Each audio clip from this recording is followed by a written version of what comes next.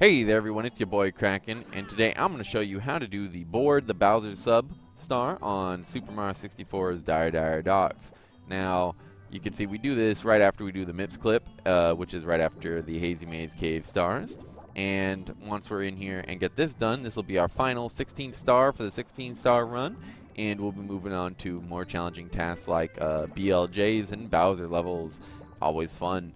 So let me go ahead and break, uh, do it real quick for you actually, and then I'll break it down for you step by step so you can see how to do it yourself. And it should be pretty simple. It's not a hard star, luckily. So just keep an, an eye on the, the technique I'm using, and you should be able to replicate it just fine. So let's hop right into it.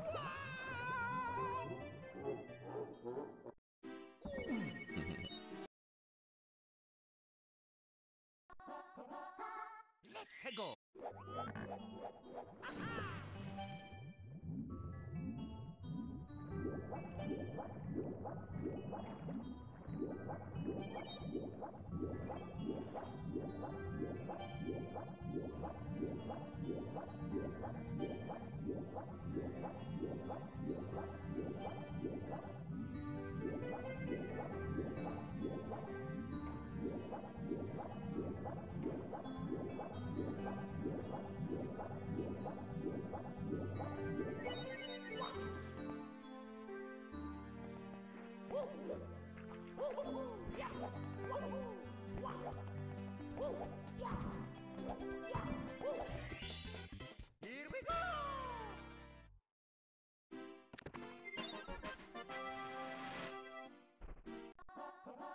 Alright, now let's break it down step by step.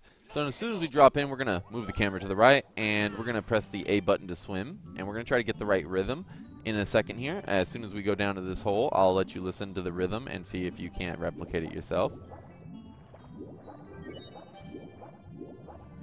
That kind of rhythm is what you want. Um, you won't get it perfectly all the time, but the better your rhythm, the better your time.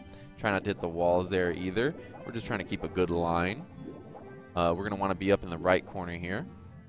So when we come out, we'll be up near the right corner because we're going to go to the back fin of the sub here.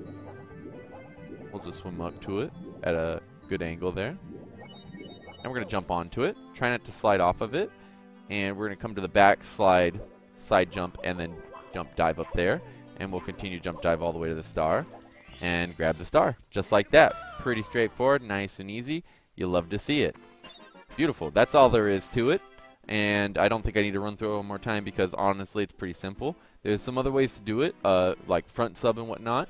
Uh, I might make a video on that sometime, but it's a lot tougher to get right, and um, it takes a lot more practice. But other than that, I uh, hope you enjoyed, and if you have any questions, be sure to leave them in the comments below. I'd be glad to help. Have a good one.